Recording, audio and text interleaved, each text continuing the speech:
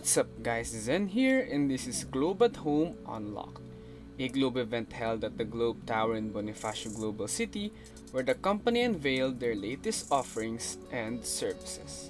To provide their users with better Wi-Fi coverage and access, Globe earlier this year released their Globe prepaid home Wi-Fi and now they've added new plans in the form of HomeSurf, an added promo you'll use on top of the normal GoSurf subscriptions. It starts at HomeSurf 15, which adds 1 gig of data to your current subscription, up to HomeSurf 599, which adds 15 gigs.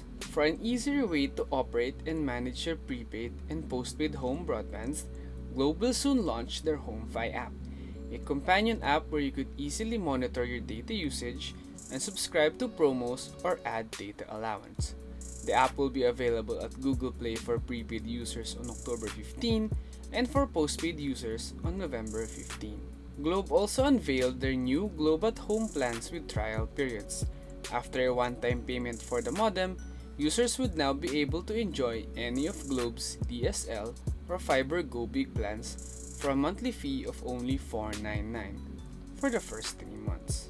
Aside from this, the company also announced the Tech Squad, a group of highly efficient and well-trained experts that will provide door-to-door support for users. To cap off the program, Globe took the wraps off of their showroom booths where they showcased their products and provided the audience with some minigames. After the program, we were given an opportunity to ask a few questions to their head of broadband marketing, Barbie Dapo.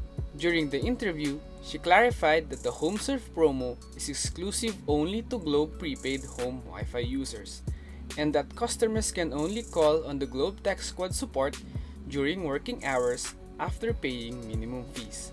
She also revealed that there are plans to add new features to the HomeFi app and make it available for iOS users. And that's a wrap. What do you think about Globe's new offerings and services? Share us your thoughts at the comments section below. Hit that thumbs up if you like this video and don't forget to subscribe to our YouTube channel for the latest news and reviews on tech. Once again, this is Zen, and I'll see you in the next one.